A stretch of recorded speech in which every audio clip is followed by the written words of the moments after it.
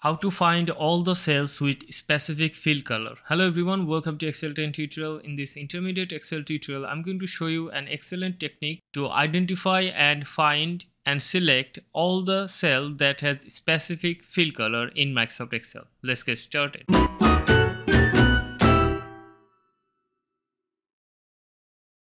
Take a look at this worksheet. I have a data set here and now there are two types of fill color. One is yellow and one is red. I want to find out all the cell that has yellow fill color. Okay. There are several ways to do it but I'm going to use the best and the easiest way to find and select all the cell that has a specific fill color. I'm going to use find and replace feature. I'm going to press Ctrl F on my keyboard and I'm going to click here option and I'm going to click on this button format. I'm going to click on fill and I'm going to select the yellow color and I'm going to click on OK and I'm going to click on find all.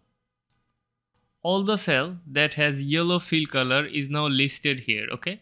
Now if I click this one each one I click will be selected. If I press Ctrl A all the cell that has yellow fill color is now selected okay? Now if i click on this fill drop down and select no fill and you can see all the cell that had yellow fill color is now removed because i have successfully selected those cell. Okay?